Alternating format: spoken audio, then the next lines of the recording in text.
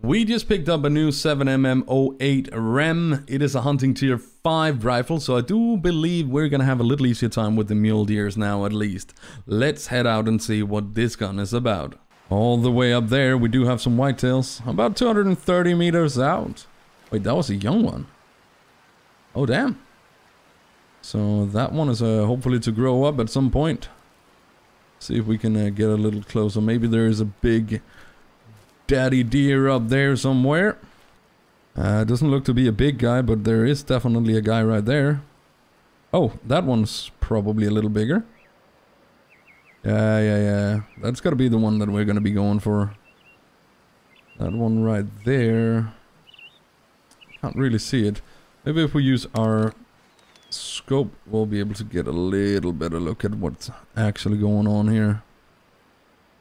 Yeah, it's definitely gonna be that guy, right? That one there isn't too bad either, though. I want to go for that one there. I think they're about 150 out. Better check the range again just to make sure. 120. I should be able to go with this then. Zero, a little low.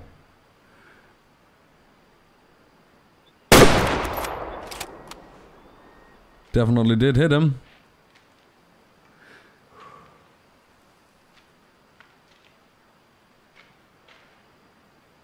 Last spot we saw him. Let's go. That's a lot of blood, medium amount, slow, and there is air bubbles as well. So I'm pretty sure we actually ended up getting some lung shot then. Let's go. Just have to uh, track him down. This up here should be around the last spot where we saw him. So maybe if we activate our Hunter senses. Oh, got blood over there, I think. Yeah. Let's go for this. Is this blood? Yes, sir.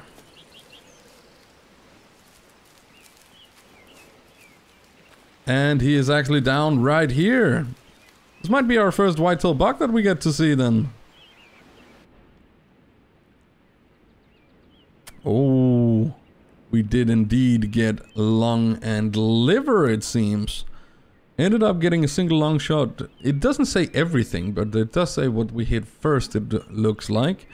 Um, how much did we lose to... We didn't lose a lot to the uh, shot, so definitely using the uh, 7mm08 over the 243 is going to be the way to go for us from now on. Maybe we just retire the 243 now.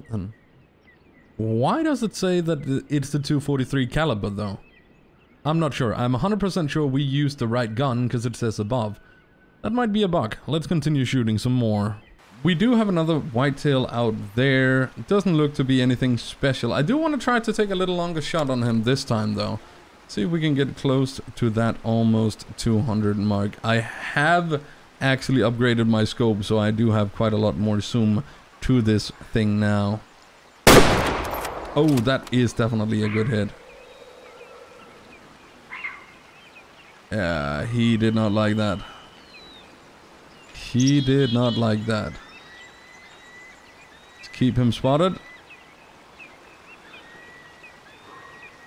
Okay, over to there. Last spot we see him. Could actually take one of these just for the fun. Ah, they're running off there. Let's go and uh, pick... Oh, no! I hit my X key. That was bad. Anyway, we had the uh, marker down up here, and let's see how this one did. Do have some blood from him right here.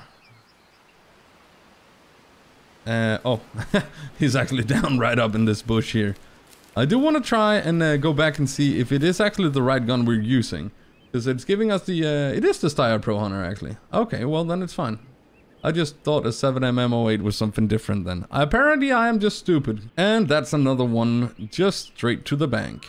And once again we're gonna be struggling a little with the wind here, but we did just test the uh, Steyr Pro out on a uh, little longer distance, so I'm not too afraid of having to take a shot from this range. I just need to make sure how many males we have over there. It does look like we just have those two tiny ones and they're both calm currently. I don't really see anything else interesting in the... Oh, where did that come from? Was that there the entire time? It probably was. Uh, but with that, I don't see a whole lot... Oh, damn, that's a badgers. Damn, damn scooting badgers. Don't really uh, need those. We just need to shoot a few more of these to get some more money. We're out on about 170 meters.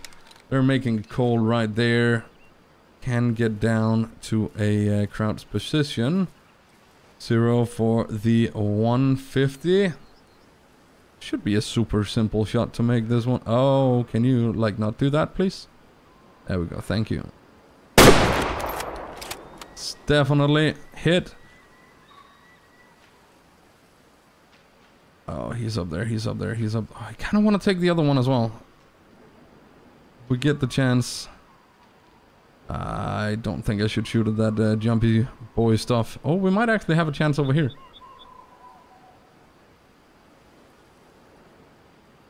Wonder how far they're gonna run out before they stop running. Out there. How far is that out? It's about three out. 300.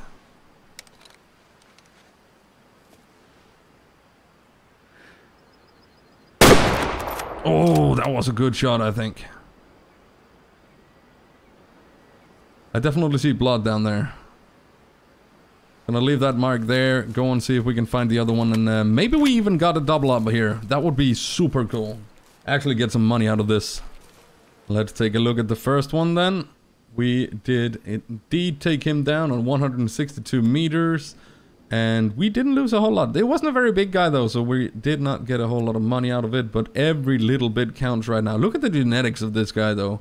Completely bollocks. Do not need him running around anymore. Get that money and see if we can go out and uh, find the other one that we shot at. I think we uh, our marker should be placed somewhat in the area of where that hit. Standing around with your Hunter senses on almost makes you feel drunk after a little while.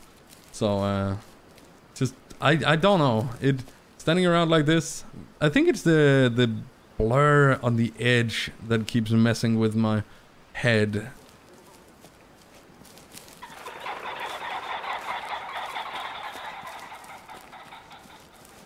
And he is actually down up here. We just have a nosy pheasant as well.